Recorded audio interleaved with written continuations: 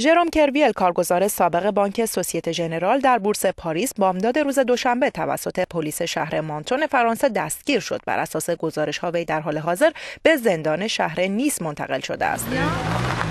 آقای کرویل که به اتهام فساد مالی و سوء استفاده از موقعیت شغلی به سه سال زندان محکوم شده پیشتر اعلام کرده بود از بازگشت به کشورش و تحمل دوران زندان خودداری خواهد کرد. اما پس از صدور حکم جلب بین المللی به فرانسه بازگشت و به محض ورود به کشورش دستگیر شد. وی در جمع خبرنگاران در بیان دلیل بازگشت خود گفت به این دلیل ساده بازگشتم که هرگز در فرار نبوده و نخواهم بود و همواره مسئولیت آنچه کردم را میپذیرم.